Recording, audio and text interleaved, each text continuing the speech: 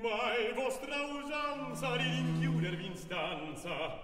È vero, ma io, io stavo qui mettendo. Via mettendo? Certe robe. Era me con la Susanna che in sua camera è andata. Ad ogni modo voi non siete tranquilla. Guardate questo foglio. Che nome? È il foglio che Figaro gli scrisse. Cos'è questo strepito? In gabinetto qualche cosa è caduta. Io non intesi niente. Mm, Convien che abbiate i gran pensieri in mente. Di che? Lave qualcuno! Chi volete che sia? Mm, lo chiedo a voi. Lo io vengo in questo punto. Ah sì, Susanna, appunto. E passò, mi diceste, alla sua stanza. La sua stanza, o qui? Non vedi bene. Susanna, ne donde viene che siete si turbata?